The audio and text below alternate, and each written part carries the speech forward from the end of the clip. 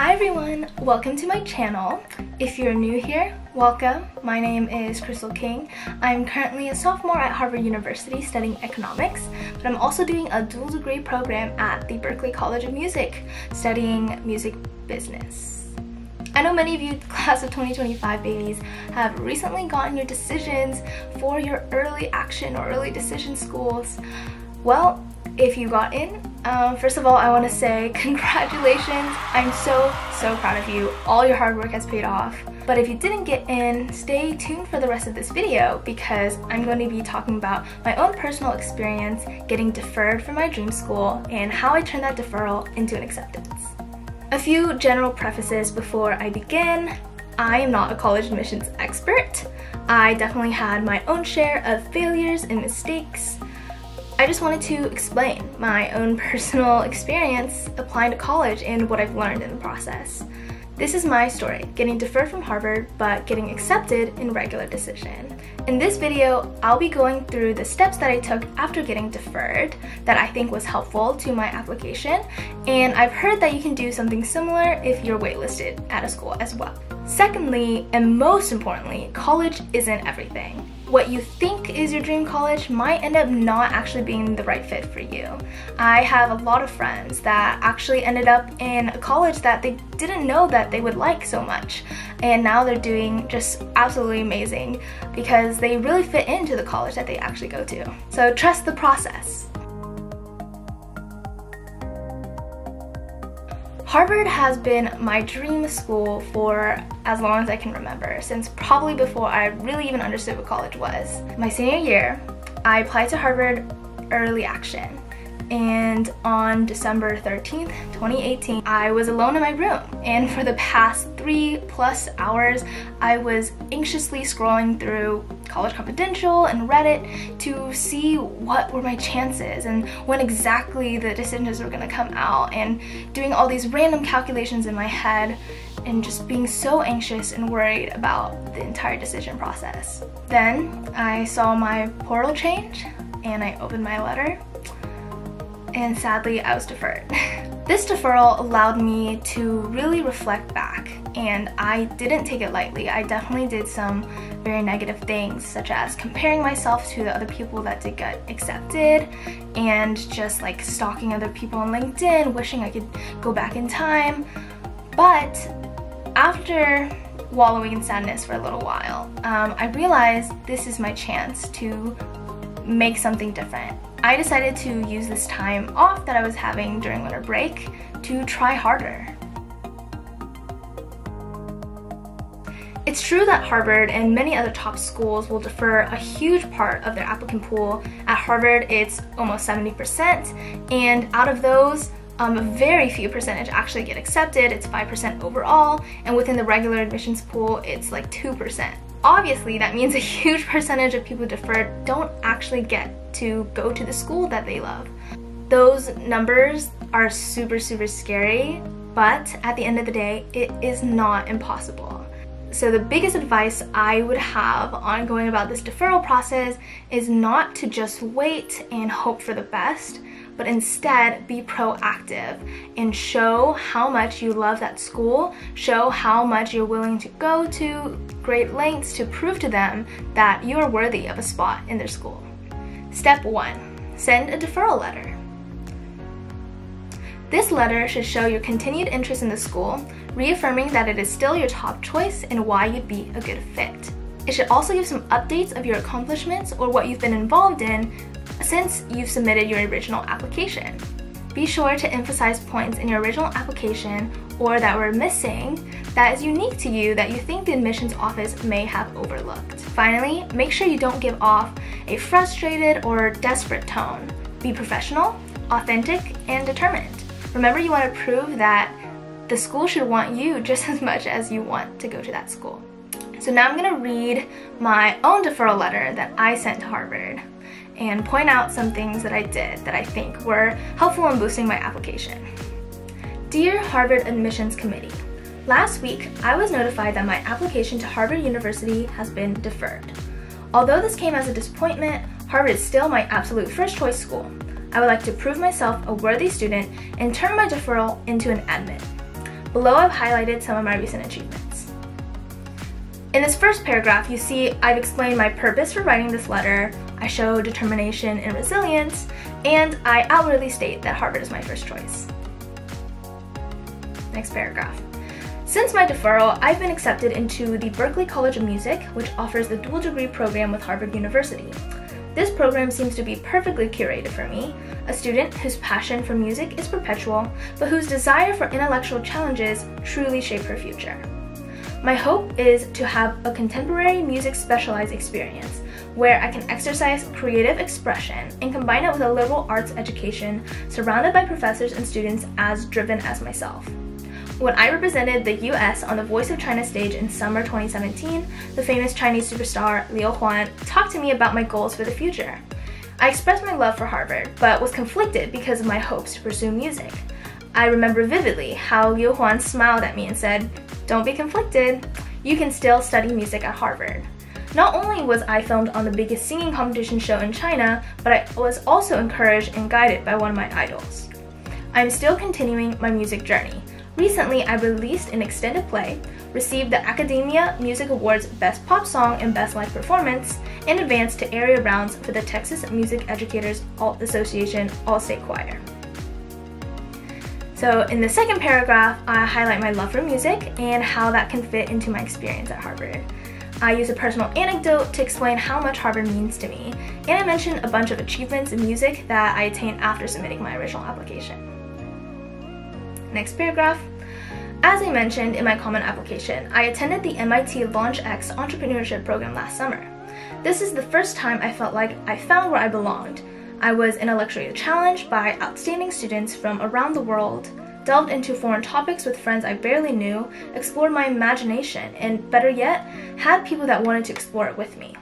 I know this type of stimulating community is one I would find at Harvard, and one I hope to be able to experience again. This experience revealed my entrepreneurial attributes and ambitions. I used to be troubled by problems, often frustrated by their inconvenience, but now I see them as opportunities that are intriguing, stimulating, and endless in possibility. After the program, we continued to work on our companies founded at launch, and our team applied for a panel presentation at the South by Southwest International Conference. We are so proud that we were selected to present at both South by Southwest and South by Southwest EDU on how to support youth entrepreneurship and foster innovative qualities through education. It is important for the upcoming generations to utilize interactive learning in schools and apply it to the modern business world. We were selected from over 5,000 applications and will presenting and will be presenting on the same stage as many other notable and successful people, such as Kevin Systrom, Instagram CEO, and David Hogg, March for Our Lives co-founder and future Harvard student. In this paragraph, I highlight one of my big parts of my identity, which is my innovation and entrepreneurial mindset. Um, this is a trait that Harvard highly encourages from its students, so I want to emphasize this once again in case it was overlooked. And I also tied this into the recent accomplishments that I wanted to update them on. Next paragraph. As for my nonprofit organization, SOAR, we are continuing to grow. We have now reached almost $33,000 from fundraising, 2,900 items collected, and 1,700 patients and families impacted. We are waiting to award two college scholarships to deserving cancer patients or survivors and give them a chance for a better future. Additionally, we are planning our biggest event for next year, a festival, to bring in funds, spread cancer awareness, and uplift cancer patients with our kindness. I am thankful for all patients we've been able to aid and hopeful for the many more lives we'll touch in the future. I can't wait to continue my nonprofit and expand our impact throughout college. However, my outreach has not stopped there. Since my application, I've started Mental Health Awareness Week and worked with counselors at my school to provide a de-stress fest during finals week. This is a topic people tend to shy from, but I wanted to shed light on the importance of mental health and start an important conversation. Additionally, I received the CAPS Outstanding Student Scholarship for my leadership and contributions to my community. Now this paragraph talks about the last part of my application story, which is my efforts in social activism. Like in the paragraphs above, I update Harvard on the recent things I've worked on, their successes, showing that not only have I continued to be diligent after applying to college, I've also taken on new initiatives because I'm truly passionate about them. Lastly, I firmly believe I would make a significantly positive contribution to Harvard. After reading Professor Elberse's book, blockbusters, hitmaking, risk-taking, and the big business of entertainment. I got a deeper understanding of what it would be like to work with Harvard's professors and how my experience could incorporate my interests of business and entertainment while exploring other passions. And I have many unanswered questions about Professor Elberse's book that I would love to discuss with her. I'm intrigued and even more motivated to learn and create something substantial in the corporate world. I want to utilize Harvard's resources to make an impact not only on campus, but also on the surrounding communities and all of society. If you have questions or would like additional information, please do not hesitate to contact me. Thank you for your time and continued consideration. So in this last paragraph, I mention a specific Harvard professor that I've read a lot about and mention how much she has influenced me. And I tie it back to my overall love for Harvard and how it fit in at the university. And then I have my signature. Um, at the end, make sure to include your reference number and contact information at the bottom of your signature. This might be different for different schools, um, but it's always good to give them an easy way to contact you. Overall, this letter was very long. If you write a deferral letter, it definitely does not have to be as comprehensive as mine was. I definitely went above and beyond, maybe even overboard in explaining a bunch of different things because I wanted so much to affirm my interest and my worthiness to Harvard. Two, recommendation letters. Other than this deferral letter, I also submitted new recommendation letters. So my original recommendation letters were from my two academic teachers and a principal, but I felt that the strongest part of my application was actually in my extracurriculars, not my academics. Therefore, I took the initiative to find people to submit recommendation letters for me um, after I got deferred. So this time, the first recommendation letter I submitted was from an oncological nurse that I worked with in my nonprofit, and she was able to talk about my work ethic, initiative, and passion in one of the biggest things that I was involved with. The second was from a songwriting mentor, um, and she could talk about my personality, creativity, and how I fit into music since that was the big part of my application and what I wanted to do at Harvard. Third, I had a recommendation from a local congressman that awarded me for my efforts in the community. Although I didn't have a very deep personal relationship with him, he could still say a couple of good words that was helpful, I think, because of his congressman title. Lastly, the student council sponsor at my school also wrote me a recommendation.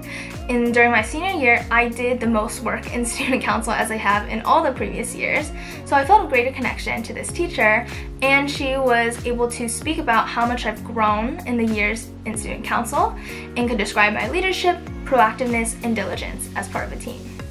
Once again, I submitted four recommendations, which is definitely a lot. Do not feel pressured to need to find so many additional recommendations, especially on such short notice. I would say the most important part about submitting a recommendation is if that person could add something to your application that was not initially there. So this could be a new perspective of an accomplishment, highlighting a new positive trait, or even strengthening your character with additional support. 3. Apply to even more schools. At first, I had 16 colleges on my list, which is already a lot. But after deferral, my confidence sunk a little bit and I wasn't sure which schools I could actually get into. I was really nervous and worried. So I decided to apply to some more and ended up applying to 21, I think. Um, obviously, once again, this is a lot. You don't have to do this. Um, if you're a little bit worried, I personally think it doesn't hurt to apply to a couple more if you have the financial resources to do so. Um, the worst that could happen is a rejection and then you know but hopefully you'll find the right college for you that's the right fit for you it definitely did take more time um, actually writing all the essays and putting in a lot more effort but that is something that I think totally paid off in the end as I got into a bunch of other schools that I probably would have been pretty happy going to if I didn't get into Harvard as well.